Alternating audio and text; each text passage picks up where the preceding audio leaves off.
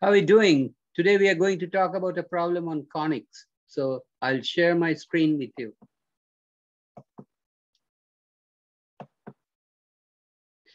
Find an equation of the hyperbola.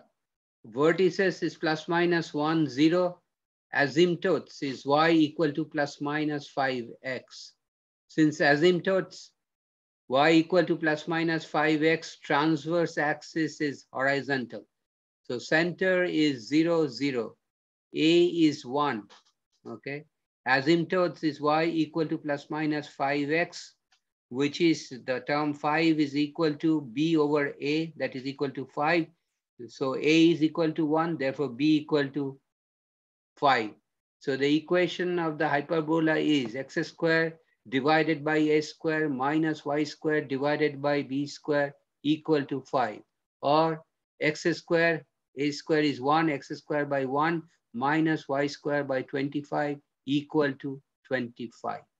I'll stop here today. If you have any question, please write me a comment. I'll get back to you as soon as possible. And please subscribe to my channel by hitting the red subscribe button and I'll come back next time with another problem, another solution. Thanks for watching. Have a nice day. Take care.